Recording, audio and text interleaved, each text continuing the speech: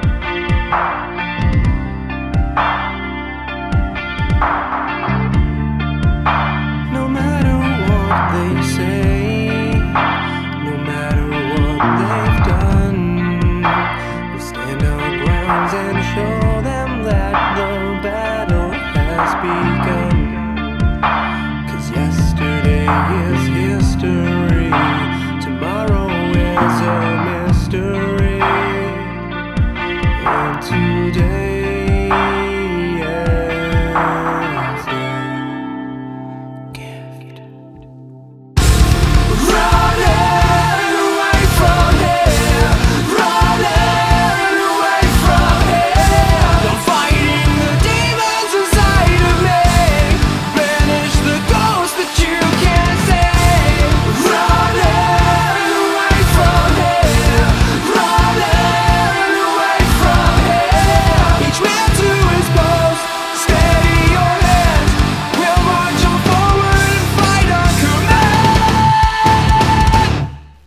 Mankind must put an end to war, or war will put an end to mankind.